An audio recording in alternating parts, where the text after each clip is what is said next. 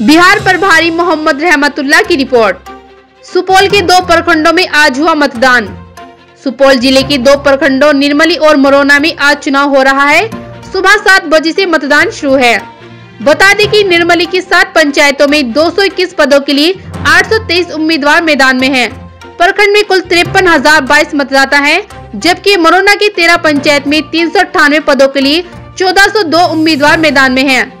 प्रखंड में कुल चौरासी मतदाता हैं। दोनों प्रखंडों से 2225 उम्मीदवार मैदान में हैं।